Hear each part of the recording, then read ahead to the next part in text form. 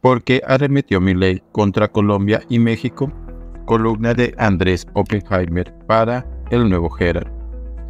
Milley, al igual que muchos de los populistas de izquierda que critica, debe gran parte de su popularidad a hacer declaraciones bombásticas casi a diario. No puedo decir que me sorprendí mucho cuando el presidente de Argentina, Javier Milei, me dijo en una entrevista el martes pasado que el presidente colombiano Gustavo Petro era un terrorista asesino comunista, y cuando el gobierno colombiano horas después expulsó a todos los diplomáticos argentinos de Colombia. Los presidentes de Argentina y Colombia ya venían tirándose dardos envenenados desde hace tiempo. Solo era una cuestión de tiempo para que sus cruces verbales estallaran en una crisis diplomática.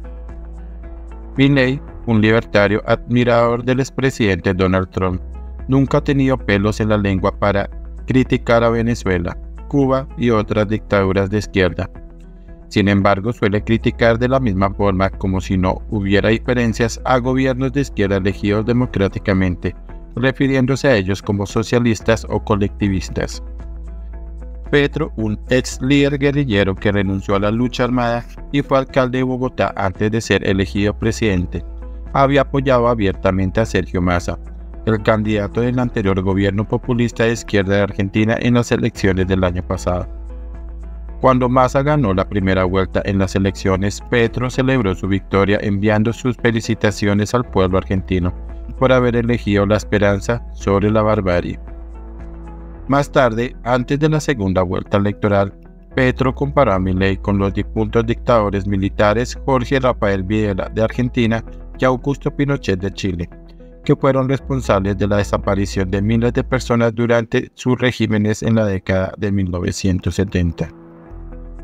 Después de que Milley ganara la segunda vuelta en las elecciones de noviembre, volvió a arremeter contra Milley, tuiteando que la extrema derecha ha ganado en Argentina y describiendo la victoria de Milley como triste para América Latina.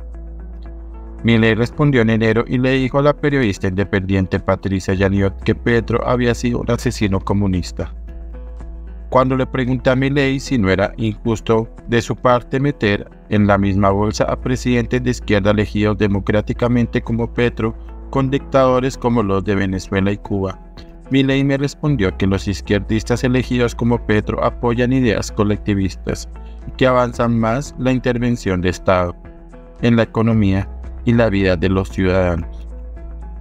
Curiosamente, ley me sacó el tema de Petro espontáneamente, sin que yo le preguntara sobre el presidente colombiano, en respuesta a una pregunta que le hice sobre cuál debería ser la reacción latinoamericana ante las proscripciones a los líderes opositores en Venezuela.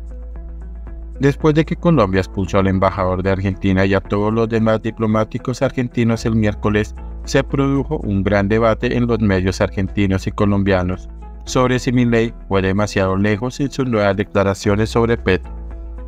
Mi impresión, a juzgar por el lenguaje corporal de ley durante y después de la entrevista, es que se sentía perfectamente cómodo con lo que me había dicho sobre el presidente colombiano. El hecho de que más tarde repitió algunos posteos de sus seguidores en redes sociales citando sus palabras sobre Petro y su descripción del presidente mexicano Andrés Manuel López Obrador como un ignorante es una indicación más de que no se ha arrepentido de lo que me dijo. Mi ley, al igual que muchos de los populistas de izquierda que critica, debe gran parte de su popularidad a hacer declaraciones bombásticas casi a diario y convertirse así en una tendencia constante en las redes sociales.